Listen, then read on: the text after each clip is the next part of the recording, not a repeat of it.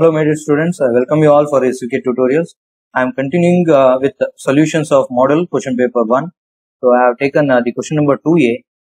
Here we require to find the inverse Laplace transform of s square minus 1 whole square divided by s power 5 and s by s square plus 6s plus 13. So problem is on uh, inverse Laplace transformation. We shall see the solution. So here, uh, before going to the solution, we require to know some uh, basic uh, inverse Laplace transformation. We should know what is La L inverse of 1 by S. L inverse of 1 by S is always uh, 1. In general, L inverse of 1 by S power n plus 1 is given by t power n divided by n factorial. You should also know what is L inverse of 1 by S minus A is nothing but e power at e power at if we have s plus a then it will be e power minus at so knowing these uh, some of the basic uh, l inverse we will start with the solution. Considering the first one i require to find l inverse of s square minus 1 the whole square divided by s power 5 now expand the numerator by expanding the numerator I will I am going to get L inverse of well I am going to apply a minus b whole square expansion. It is a square.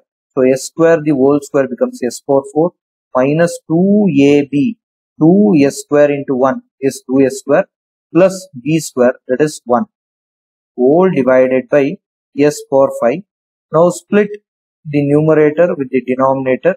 We are going to get L inverse of s power 4 by s power 5 minus 2 s square by s power 5 plus 1 by s power 5 it is nothing but L inverse of here s power 4 divided by s power 4 get cancelled. You are left out with 1 by s. I am applying linearity property here. Minus 2 times of L inverse of s square and uh, s square get cancelled you are left out with s cube so 1 by s cube plus l inverse of 1 over s power 5 for all these i am going to consider the definition of l inverse of 1 by s power n plus 1 it is given by t power n by n factorial. So for the first term l inverse of 1 by s is 1 minus uh, 2 into L inverse of S power 3. 3 can be written as what? 2 plus 1. So therefore n value is uh, 2. We can write this as t square divided by 2 factorial plus here I need to find L inverse of 1 by S power 5. So 5 can be written as what? 4 plus 1.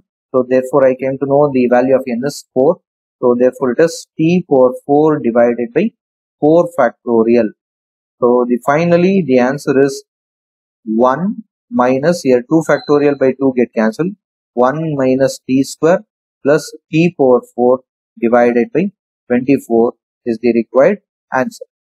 So now let us see the second uh, solution. Note down the given question. They have given we require to find out L inverse of S divided by S square plus 6S plus 13. So moving with the solution. So looking at the denominator, we have s square plus 6s plus 13. We require to solve this by completing the square method. We require to solve this problem by completing the square method. By completing the square method. How to solve this by completing the square method? Let us uh, learn that. So now consider the denominator. Consider whatever we have in the denominator. Consider s square plus 6s plus 13. Look at here, it is very simple. Write down the first term that is s square. Next term can be written as whether it is there or not multiples of 2, write in terms of multiples of 2 in the second term. So 2 times of 6 can be written as what? We can write 6 as what? Multiples of 2 I need. 2 times of 3 will give 6. So 2 into 3 into S plus so as I am getting the problem as A square plus 2ab plus I need b square. So what is b square here? I will consider the value of b square as 3 square as I have multiplied by 2 has been multiplied by a into b. 2 is multiplied by a into b. a is already there that is yes and b is what now 3. So just add and subtract by 3 square. So that is the way of getting the completing the square method. Plus we have 13 write down that. Now we can rewrite this value as what uh, looking at this expression I can write the above expression as s plus 3 the whole square. I can write this as s plus 3 the whole square. Since a plus b the whole square is nothing but what? A square plus 2ab plus b square. s plus 3 the whole square minus 3 square is what? 9 plus 13. Simplify this. We are going to get s plus 3 the whole square minus 9 plus 13 is nothing but plus 4. This is what we got the denominator term. So now substituting this denominator in the given question, therefore the given problem becomes L inverse of S by S square plus 6S plus 13 can be written as L inverse of S by S by S plus 3 whole square plus 4. So now if we observe the function of s, we have s plus 3 here. Try to make this s as the term as we have here. So try to express this s as what? s plus 3. So I can write easily this term as L inverse of s plus 3. Just add and subtract. Plus 3 minus 3 whole divided by s plus 3 the whole square plus 4. So now we have a property called a shifting property.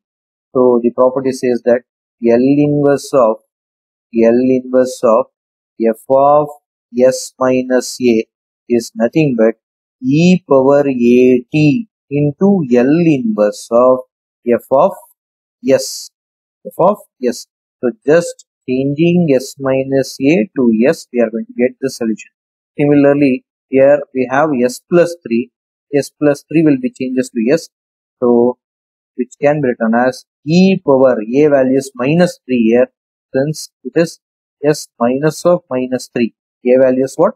Minus 3. We can write this as e power minus 3t into L inverse of s minus 3 divided by s square plus 4. Now splitting this, we are going to get e power minus 3t into L inverse of L inverse of S by S square plus 4 minus 3 into L inverse of 1 by S square plus 4. So as we have studied in the previous video, Laplace of cos at and Laplace of sin at, the inverse of uh, the f of s will be f of t. So therefore, we know that Therefore, we know that L inverse of L inverse of S by S square plus A square will be equal to cos AT and L inverse of 1 by S square plus A square will be equal to sin AT by A. Sin AT by A.